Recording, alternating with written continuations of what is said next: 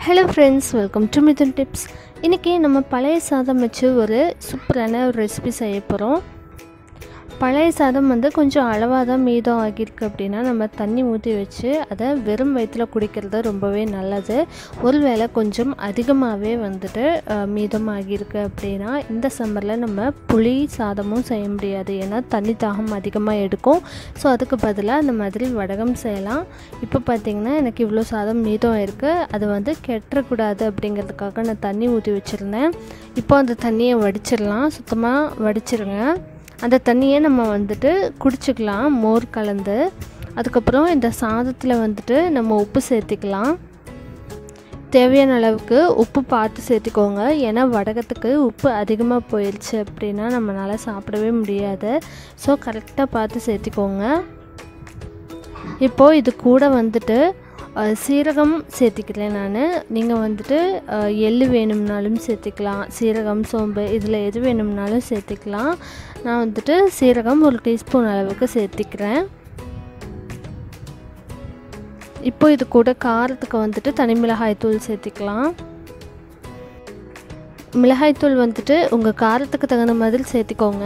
நான் வந்துட்டு ஒரு டீஸ்பூன் அளவுக்கு சேர்த்திக்கிறேன். எனக்கு எவ்வளோ சாதம் மீதம் ஆகியிருக்குன்னு பார்த்தீங்கன்னா கிட்டத்தட்ட ஒரு மூணு கப் அளவுக்கு சாதம் மீதம் ஆகியிருந்தது. ஸோ அதுக்கு ஒரு டீஸ்பூன் அளவுக்கு மிளகாய்த்தூள் சேர்த்திருக்கிறேன். இப்போ இந்த சாதத்தை நல்லா வந்து பிசைஞ்சு விட்டுக்கோங்க. ஏற்கனவே பார்த்திங்கன்னா இது ஓவர் நைட் நல்லா ஊறி இருக்கிறதுனால இதை வந்துட்டு நம்ம பிசையிறதுக்கு ரொம்பவே ஈஸியாகவும் இருக்கும். நான் வந்துட்டு இன்றைக்கி கையிலேயே தான் வந்து பிடிச்சு வைக்க போகிறேன் ஒருவேளை உங்ககிட்ட முறுக்கு பிழியிற அந்த குழல் இருந்ததுன்னா அதில் கூட இதை போட்டு நம்ம முறுக்கு மாதிரியே இதை வந்து பிழிஞ்சு விட்டுக்கலாம். ஆனால் நான் வந்துட்டு இன்றைக்கி ரைஸ் பால்ஸ் மாதிரி தான் செய்ய போகிறேன் இப்போது நம்ம நல்லா வந்துட்டு பிசைஞ்சாச்சு. அதுக்கப்புறமா இந்த மாதிரி சின்ன சின்ன உருண்டையாக பிடிச்சி வச்சுக்கலாம். இருக்கிற எல்லா சாதத்தையுமே வந்துட்டு இந்த மாதிரி சின்ன சின்ன உருண்டைகளாக பிடிச்சி வச்சுக்கோங்க. அப்போது உங்களுக்கு சீக்கிரமாக காயறதுக்கும் ஈஸியாக இருக்கும். கொஞ்சம் ஸ்பேஸ் விட்டே வைங்க. அப்போ தான் ஒன்றோட ஒன்று ஒட்டாமல் நல்லா வெயிலில் காயறதுக்கும் ஈஸியாக இருக்கும். இப்போ அடிக்கிற வெயிலில் பார்த்தீங்கன்னா கரெக்டாக டூ டேஸ் போதும். இது நல்லா வந்துட்டு காஞ்சிரும். இந்த அளவுக்கு நல்லா குழைவாக பிசைஞ்சு வச்சுக்கலாம். இப்போது இதை நல்லா வெயிலில் வச்சிடலாம் இப்போ பார்த்தீங்கன்னா இது டூ டேஸ் கழிச்சு இப்படி தான் இருக்குது நல்லா வந்து காஞ்சிருச்சு. காஞ்சதுக்கு அப்புறமே பார்த்தீங்கன்னா அதுவே பிளேட்டு விட்டு தனியாக பிரிஞ்சு வந்துடும் நம்ம வந்துட்டு அதை எடுக்க வேண்டியதே கிடையாது. ஜஸ்ட்டு நம்ம வந்துட்டு பிளேட்டில் லைட்டாக மூவ் பண்ணாலே எல்லாமே வந்து உதிர்ந்துடும் இப்போது இதை வந்துட்டு ஒரு கடாயில் எண்ணெய் ஹீட் பண்ணிவிட்டு ஃபுல்லாக வந்து பொறிச்சு எடுத்துடலாம். அல்லது நீங்கள் காய வச்சிங்களேன் அதை வந்துட்டு ஒரு கண்டெய்னரில் ஸ்டோர் பண்ணி வச்சுக்கிட்டு உங்களுக்கு எப்போ வேணுமோ அந்த மாதிரி அதுக்கு தகுந்த மாதிரி பொறிச்சு எடுத்துக்கலாம்.